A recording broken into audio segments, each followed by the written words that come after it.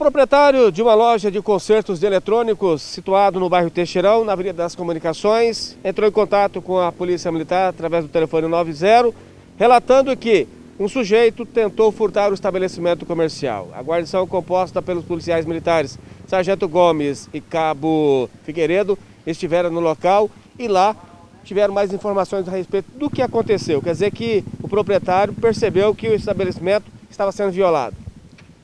Então, é, conforme informações colhidas no local, ele avistou um suspeito, né, um elemento conhecido pela prática de furtos ali na região, e o mesmo estava próximo da sua residência, que é o local onde ele trabalha.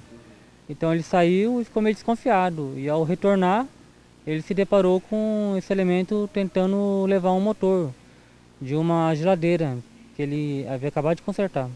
Aí ele chegou então a ter uma via de fato ali com o suposto é, infrator?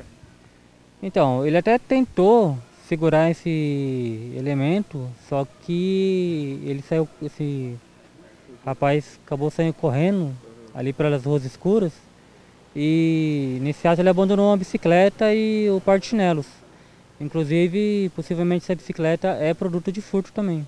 Aí vocês então, diante das narrativas do, da vítima, então por ter deixado a bicicleta no local e possivelmente possa também ser produto de furto, recolher aqui para a delegacia. Sim, a gente recolheu, fez o registro e pelas características a gente já sabe quem é, a gente vai estar patrulhando agora para encontrar ele. Dizer, diante das informações, uma pessoa já que pelas características já conhecida da polícia, agora mesmo diante das informações, vamos estar fazendo aí durante o plantão diligência no intuito de chegar até o suspeito.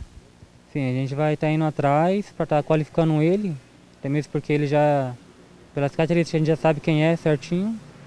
E daqui a gente está indo lá para o setor.